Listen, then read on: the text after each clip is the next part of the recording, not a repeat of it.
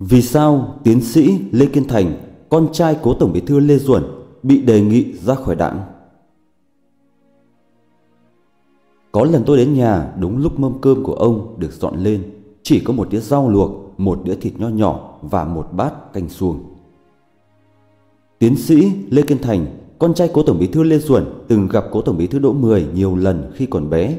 Khi Tổng Bí thư Lê Duẩn vẫn còn sống, nhưng ông luôn coi cuộc gặp với Tổng Bí thư Đỗ Mười năm 1997 là cuộc gặp đầu tiên. Vì đó là cuộc gặp mà Lê Kiên Thành có cái nhìn rõ nét đầu tiên về ông Đỗ Mười.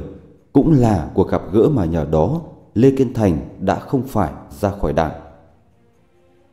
Sau khi nguyên Tổng Bí thư Đỗ Mười từ trần, báo điện tử trí thức trẻ đã đề nghị tiến sĩ Lê Kiên Thành chia sẻ những kỷ niệm đặc biệt ấy.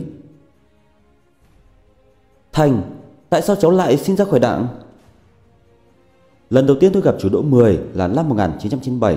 Thời điểm đó thành phố Hồ Chí Minh là nơi tiên phong trong việc cấm đảng viên làm kinh tế tư nhân, mà tôi thì lại chính là một trong số những đảng viên đầu tiên rời bỏ nhà nước để ra ngoài làm kinh tế. Dù tôi là con trai của cố Tổng Bí thư Lê Duẩn thì vẫn có những người đã gây sức ép đề nghị tôi phải ra khỏi đảng. Không hiểu tại sao có ai đó nói đến tai chú Đỗ Mười rằng tôi viết đơn xin ra khỏi đảng.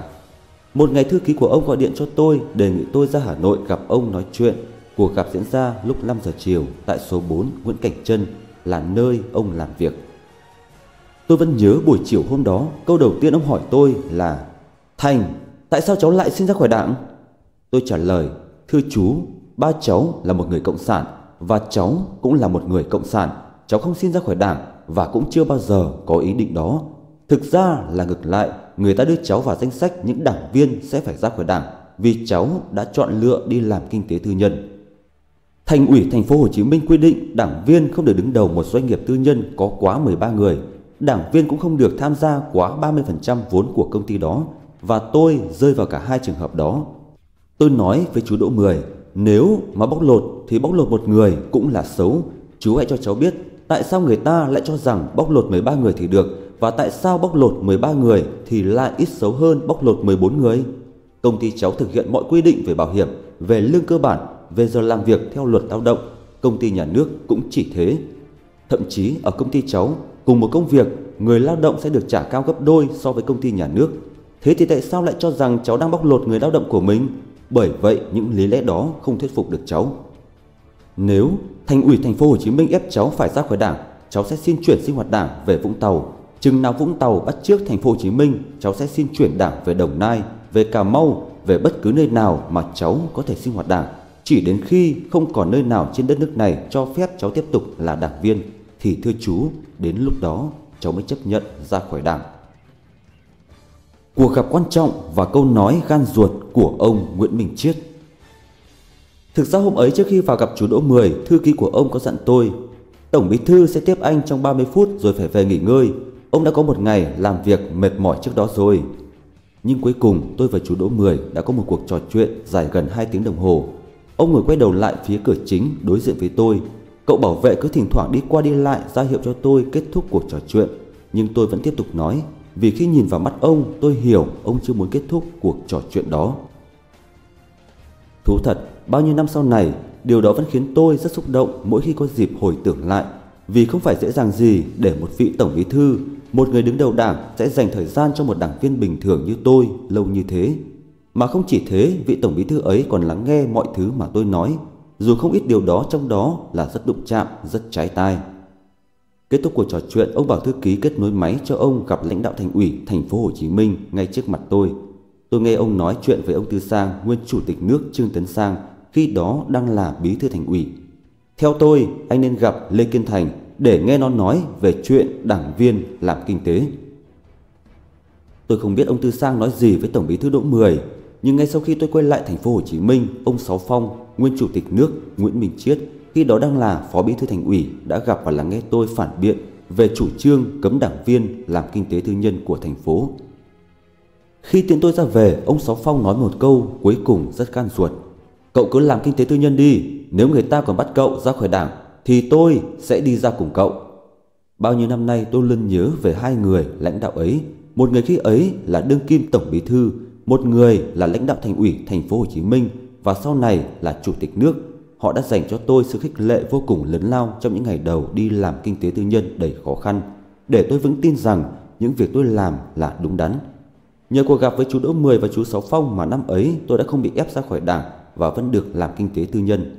Nhưng phải khoảng 10 năm sau chúng ta mới chính thức cho phép đảng viên được làm kinh tế tư nhân. Nhiều lần tôi đã tưởng ông rất tức giận nhưng không. Sau cuộc gặp đầu tiên ấy, tôi đến thăm chú Đỗ Mười thường xuyên hơn. Những cuộc gặp diễn ra trong cả ba giai đoạn cuộc đời ông. Khi ông là Tổng bí thư đương nhiệm, khi ông trở thành cố vấn Ban chấp hành Trung ương Đảng và khi ông rút khỏi toàn bộ những công việc chính trị, dành thời gian ăn dưỡng tuổi già. Không một lần nào tôi gọi điện ngỏ ý đến thăm mà ông từ chối. Lần nào đến thăm nhà ông ở Phạm Đình Hổ, tôi cũng thấy ông đang ngồi đó, tay cầm kính lúp và chăm chú đọc sách. Bàn làm việc của ông lúc nào cũng ngập trong sách, Lâu lắm rồi tôi không còn thấy những nhà lãnh đạo đọc sách nhiều thế. Và ông luôn kể cho tôi về cuốn sách ông đang đọc Trước khi chúng tôi bắt đầu nói những câu chuyện chính. Khác với cha mình Tôi không theo đuổi con đường chính trị Mà lựa chọn trở thành một doanh nhân. Nhưng rất nhiều đêm không ngủ được Tôi vẫn thường vắt tay lên chán và suy nghĩ Về những vấn đề của đất nước. Có những điều khiến tôi cảm thấy chăn trở Cảm thấy nặng nề và cần được sẻ chia Nhưng không phải lúc nào tôi cũng có thể tìm được người hiểu mình Với chú Đỗ Mười tôi có thể chia sẻ những nỗi niềm đó. Kể từ lần gặp đầu tiên cho đến lần gặp sau này, tôi luôn cảm thấy vừa ngạc nhiên vừa biết ơn khi ông, người lãnh đạo cao nhất của đảng đã luôn lắng nghe tôi, một đảng viên bình thường. Khi trò chuyện giữa chúng tôi không còn quá nhiều khoảng cách về thế hệ và vị trí trong đảng, chúng tôi chỉ là hai người đảng viên cùng có chung một mối quan tâm. Tôi là một người thẳng thắn và không ngại nói ra suy nghĩ của mình, kể cả với những nhà lãnh đạo như chú Đỗ Mười. Không phải chuyện gì chú Đỗ Mười cũng đồng tình với quan điểm của tôi. Có những chuyện mà khi đến gặp ông để chia sẻ, tôi thậm chí phải thu hết can đảm và chuẩn bị tinh thần rằng tôi nhất định sẽ khiến ông nổi giận.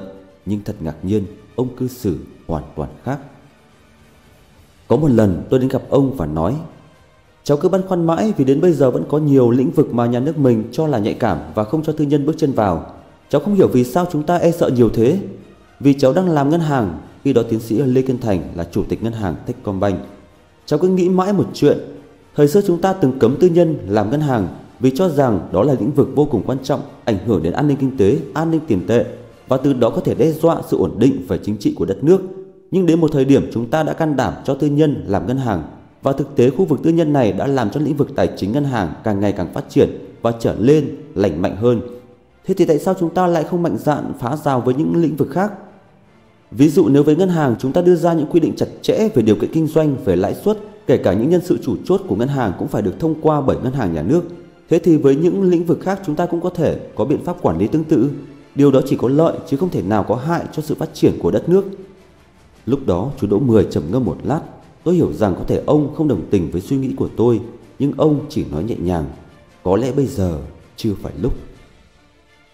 Ở vị trí này, ta phải đối mặt với quá nhiều gánh nặng Thật ra tôi hiểu rằng một trong những điều làm nên sự khác biệt giữa một người lãnh đạo như chú Đỗ Mười với tôi, một đảng viên bình thường chính là việc ở vị trí đó, họ sẽ bao quát được nhiều vấn đề hơn và hiểu rằng có những việc có thể rất đơn giản nếu nhìn từ vị trí của tôi, nhưng lại không dễ dàng gì nếu đứng ở vị trí của ông. Chú Đỗ Mười từng có lần nói với tôi, khi chú lên vị trí này, chú càng hiểu vai trò của ba cháu, càng hiểu khó khăn của ba cháu. Ở vị trí này, người ta phải đối mặt với quá nhiều gánh nặng, có những việc mình buộc phải làm, không thể có lựa chọn khác. Có những việc mà người ở ngoài sẽ chê mình làm không tốt. Nhưng sự thật là khi bắt tay vào làm thì mới hiểu rằng để làm tốt việc đó khó khăn đến không tưởng. Tôi hiểu những gì mà ông nói. Ba tôi và chú Đỗ Mười đều từng là những người lãnh đạo đảng trong những thời điểm khác nhau của lịch sử. Họ giống nhau một điều, có một vài việc họ làm gây tranh cãi cho đến tận bây giờ. Nhưng vì tôi có cơ hội tiếp xúc và sống gần với họ, tôi hiểu một điều rằng những việc mà họ làm đều dựa trên hệ quy chiếu là đất nước, đều được lọc qua lăng kính của lòng yêu nước. Khi một người lấy lợi ích đất nước làm kim chỉ nam, lấy lòng yêu nước làm tiêu chuẩn, không có nghĩa rằng mọi quyết định của họ đều đúng đắn, nhưng nó sẽ giúp họ tránh được nhiều sai lầm nhất có thể. Những lựa chọn gây hại cho đất nước, cho dân tộc cũng sẽ ít nhất có thể. Và tôi không bao giờ nghi ngờ một điều, mọi việc mà chú Đỗ Mười đã làm đều xuất phát từ niềm tin rằng đó là việc có lợi cho đất nước này, cho dân tộc này. Lịch sử không chỉ ở ta mà thế giới cũng vậy, không phải lúc nào cũng công bằng. Có những người sẽ bị phán xét hơn những gì đáng nhẽ ra họ phải chịu, cũng có những người sẽ được tụng ca hơn những gì mà họ xứng đáng. Hôm đó tôi đã nín thở chờ đợi chú Đỗ Mười quát mắng mình. Hơn 20 năm qua, mỗi lần gặp chú Đỗ Mười, dù có bắt đầu câu chuyện bằng những lời hỏi thăm gia đình, dù có bàn luận về những cuốn sách, thì cuối cùng những cuộc trò chuyện giữa tôi và chú Đỗ Mười luôn quay về đề tài đất nước, dân tộc. Có không ít lần ông hỏi tôi, Thành, bây giờ đất nước mình đã không còn chiến tranh nữa, không còn đói nữa, nhưng cháu nói thật đi, cháu thấy đất nước mình đã mạnh chưa? Câu hỏi quá khó, tôi không biết phải trả lời thế nào. Tôi và chú Đỗ Mười hay bàn luận về sự sụp đổ của Liên Xô. Người ta cứ nói Liên Xô sụp đổ vì các thế lực bên ngoài. Nhưng một đế chế đã hùng mạnh như thế thì đâu dễ dàng sụp đổ vì những tác động ngoại bang. Liên Xô sụp đổ khi trong lòng đất nước ấy không hề có bất cứ mầm mống tư bản nào. Và Việt Nam cần tránh được vết xe đổ ấy. Khi nghị quyết Trung ương 4 khóa 11 diễn ra, tôi đã đến nói với chú Đỗ Mười rằng Cháu coi chú như chú của cháu Vì ba cháu không còn nữa Chú vừa là người có vị trí trong đảng Vừa là người trong gia đình Nên hôm nay cháu đến để xin phép chú. Nếu lần này nghị quyết Trung ương 4 không thành công Cháu sẽ xin phép ra khỏi đảng. Nghị quyết Trung ương 4 với một người đảng viên như tôi là một sự kiện quan trọng vì đó là lần đầu tiên người đứng đầu đảng đã can đảm thay mặt đảng thừa nhận những tồn tại, những yếu kém trong đảng, thừa nhận việc chúng ta có sửa chữa được những yếu kém đó hay không sẽ ảnh hưởng đến sự tồn vong của đảng đó là lần đầu tiên Tổng Bí thư thừa nhận trong Đảng đã có nhiều thành phần cơ hội. Đó cũng là lần đầu tiên chúng ta dám nhìn trực diện vào sự lâm nguy mà chúng ta đang đối diện. Cũng là lần đầu tiên chúng ta nhìn thấy sự lâm nguy ấy do chính chúng ta tạo ra. Đứng trước sự lâm nguy ấy, người ta phải có hành động đặc biệt. Hôm đó, tôi đã nín thở chờ đợi chú Đỗ Mười quát mắng mình, nhưng thay vì đó, ông im lặng và nhìn tôi buồn bã. Sau này, ông chỉ nói với tôi rằng, có những việc chúng ta cần thời gian, có những việc chúng ta phải biết chờ đợi.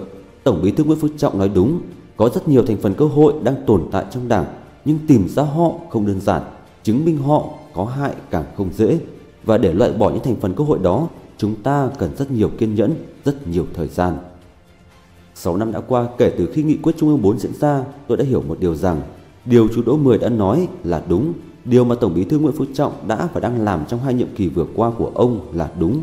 Có những cuộc cải tổ cần phải có thời gian đôi khi là rất nhiều thời gian mới bắt đầu nhìn thấy những kết quả tích cực. Bữa cơm đạm bạc và căn phòng đầy sách. Hơn 20 năm qua tôi có rất nhiều kỷ niệm cá nhân với chú Đỗ Mười, kể cả khi đã gần 100 tuổi, nhưng mỗi lần tôi đến thăm nhà ông, khi thì ra về bao giờ ông cũng sẽ ân cần nắm tay tiễn tôi ra tận cửa. Tôi luôn ngạc nhiên lẫn cảm động về sự giản dị quá mức của ông. Có lần tôi đến thăm nhà đúng lúc mâm cơm của ông được dọn lên, chỉ có một đĩa rau luộc một đĩa thịt nho nhỏ và một bát canh suông. Ông chẳng bao giờ để ý đến việc người ta sẽ cho mình ăn gì. Trong căn phòng làm việc chứa đầy sách của ông có kê một cái sập cụ, trên đó có một cái chiếu cói đã cũ chính như cái sập ấy và ông thường ngả lưng trên đó sau những lúc làm việc căng thẳng. Tôi không bao giờ nghi ngờ về việc ông là một người vô cùng thanh bạch, vô cùng liêm khiết vì tôi biết con cái họ hàng ông chỉ làm những công việc hết sức bình thường chứ không hề được ông nâng đỡ không hề có đặc ân nào nhờ cương vị của ông, nên với ông tôi luôn cư xử rất chừng mực. Tôi có một công ty sản xuất mì ăn liền, mỗi lần đến thăm ông, nếu tôi cầu kỳ mua trái cây mang đến, ông chắc chắn sẽ cầu nhau. Nên quà của tôi tặng ông thường xuyên là những thùng mì tôm. Ông rất vui vẻ khi nhận những món quà đó, vừa cười nói, vừa gọi các chú bảo vệ của ông lên, chia cho mỗi người một ít. Chúng mày kiếm ăn, thế là đủ rồi, Chú Đỗ Mười và chú Sáu Dân là hai người đã động viên tôi ứng cử đại biểu quốc hội. Trước khi tôi ứng cử đại biểu quốc hội lần đầu tiên, một ngày chú Đỗ Mười nói với tôi, Chúng mày kiếm ăn, thế là đủ rồi, giờ là lúc nên tham gia vào công việc chung đi. Tôi thật thà trả lời ông rằng, thật ra thế hệ chúng cháu vừa may vừa không may, chúng cháu được sinh ra trong những gia đình cách mạng, đó là tiền đề may mắn, nhưng không may là tất cả những ông bố, bà mẹ của chúng cháu đều không nghĩ rằng con mình nên tham gia chính trị nên đến bây giờ có lẽ tất cả đã muộn màng rồi. Năm đó tôi đã 46 tuổi, kể cả nếu tôi có muốn quay trở lại hệ thống thì cũng không còn cơ hội để được đề bạt. Chú Đỗ Mười hiểu điều đó nên ông động viên tôi. Cháu không vào được cơ quan nhà nước nữa thì vào các cơ quan dân cử mà làm việc, làm theo cách nào thì cũng là cống hiến cho đất nước. Chú Sáu Dân cũng nói với tôi những lời hệt như thế. Chính vì sự mong mỏi của hai nhà lãnh đạo ấy, chính vì không muốn phụ lòng tin của họ mà tôi đã hai lần tự ứng cử đại biểu quốc hội, tự ứng cử kể cả khi biết rằng mình chỉ có 5% cơ hội chiến thắng. Trong kinh doanh, nếu chỉ có 5% cơ hội là coi như thất bại, một doanh nhân như tôi sẽ không bao giờ thử sức với một thương vụ chỉ có 5% cơ hội như thế. Nhưng nếu là một chuyện tốt, nếu là một chuyện có thể cống hiến cho đất nước, thì dù chỉ có 5% cơ hội, tôi vẫn thấy đáng làm, vẫn thấy sẵn sàng làm. Không nằm ngoài dự đoán hai lần tôi ứng cử đại biểu quốc hội đều trượt, dĩ nhiên là tôi buồn, nhưng tôi hiểu chú Đỗ Mười và chú Sáu Sơn còn buồn hơn cả tôi khi tôi không thành công. Sau này cả chú Đỗ Mười và chú Sáu Sơn đều từng nhiều lần tìm cách tiến cử tôi, tìm cách đưa tôi quay lại hệ thống, quay trở lại làm việc cho nhà nước. Nhưng có lần không thành công, có lần thì chính tôi đã không nắm lấy cơ hội đó. Vì tôi hiểu rằng một người đã lựa chọn rời khỏi nhà nước đi làm kinh tế tư nhân quá lâu như tôi thì sẽ rất khó để quay trở lại hệ thống. Nếu là việc có hại cho đất nước, ông Đỗ Mười không bao giờ thỏa hiệp. Tôi hay nói với cả chú Sáu Dân và chú Đỗ Mười rằng cuộc đời của chúng ta đều có số phận như con chim sinh ra là để hót, con cá sinh ra để bơi. Dù tôi là con trai của cố tổng bí thư Lê Duẩn có nền tảng gia đình thuận lợi, dù tôi rất say mê chính trị, về kể cả con nói với tất cả sự khiêm tốn, tôi vẫn nghĩ rằng mình có những phẩm chất để làm chính trị. Nhưng tôi lại không có duyên với nó. Số phận không định tôi trở thành chính trị gia, Nên đã có lúc dù rất muốn, Tôi cũng không thể vượt qua được số phận của mình. Khi chú Sáu Dân mất, Rồi bây giờ khi chú Đỗ Mười cũng ra đi, Việc tôi không làm được những gì họ kỳ vọng Chính là những điều khiến tôi ân hận nhất. Ngày nay, khi chú Đỗ Mười vừa nhắm mắt, Ông Sáu Nam nguyên chủ tịch nước Lê Đức Anh cũng mất. Tôi nhận ra rằng Vậy là những người cuối cùng của thế hệ khai quốc công thần của đảng đã ra đi Đến giờ này, dù ai nói gì đi chăng nữa, dù có những băn khoăn chính tôi cũng chưa bao giờ dám mở lời hỏi ông, nhưng tôi có một niềm tin mạnh mẽ. Nếu là việc mà ông nhận thấy có hại cho đất nước, thì ông Đỗ Mười không bao giờ thỏa hiệp. Ông là một người cả cuộc đời trung thành với lý tưởng cộng sản của mình và sẽ không bao giờ rời bỏ nó cho đến tận hơi thở cuối cùng. Trên đây là bài viết chia sẻ những kỷ niệm đặc biệt của tiến sĩ Lê Kiên Thành, con trai của Tổng Bí thư Lê Duẩn về Tổng Bí thư Đỗ Mười. Xin chân thành cảm ơn quý vị và các bạn đã quan tâm theo dõi video. Các bạn đừng quên bấm đăng ký để theo dõi thêm nhiều video mới. Chúc các bạn vui vẻ.